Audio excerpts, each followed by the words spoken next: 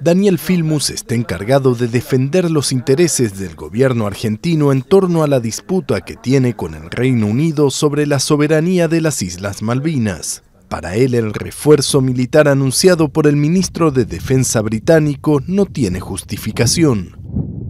En nuestra opinión, el aumento del presupuesto militar en las Islas Malvinas no tiene absolutamente ningún sentido.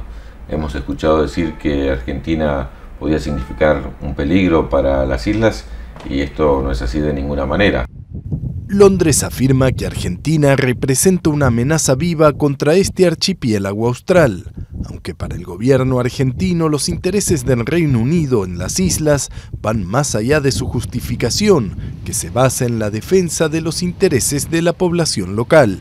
¿Por qué el Reino Unido sigue manejando todas esas zonas que están muy alejadas de Londres? Bueno, la única razón es una presencia militar que, insisto, defiende los intereses económicos, defiende intereses geopolíticamente muy estratégicos y en el 2040, sin lugar a dudas, se va a discutir Antártida, se vence el Tratado Antártico, así que es para el Reino Unido una situación estratégica que la pretende eh, dirimir desde el punto de vista militar. Buenos Aires mantiene con Londres un conflicto territorial desde 1833, cuando tropas británicas se apoderaron del archipiélago austral y expulsaron a sus pobladores argentinos.